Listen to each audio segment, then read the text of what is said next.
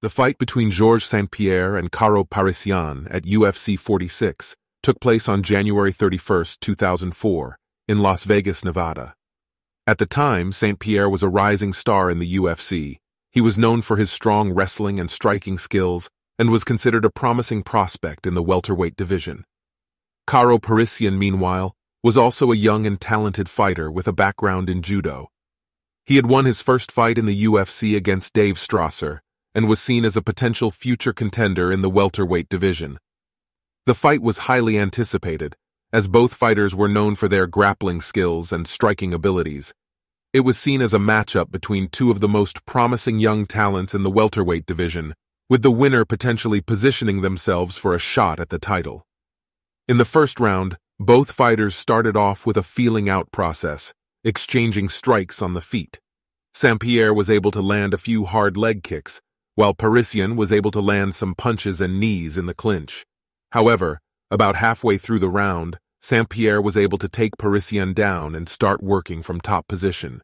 From there, St. Pierre was able to control Parisyan on the ground, landing some ground and pound strikes and working to advance his position. Parisyan tried to scramble back to his feet, but St. Pierre was able to keep him on the ground for the rest of the round.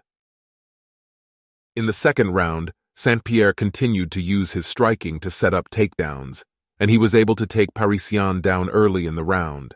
From there, he was again able to control Parisyan on the ground, landing strikes and looking for submission opportunities.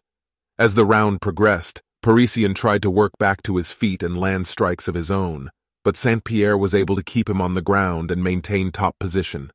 The round ended with St. Pierre still in control on the ground. Rinse and repeat in the third round.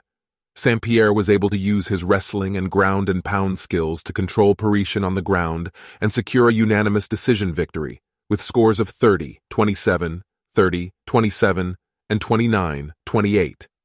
Parisyan continued to compete in the UFC for several years, earning many notable victories, but the loss to St. Pierre was a setback in his career.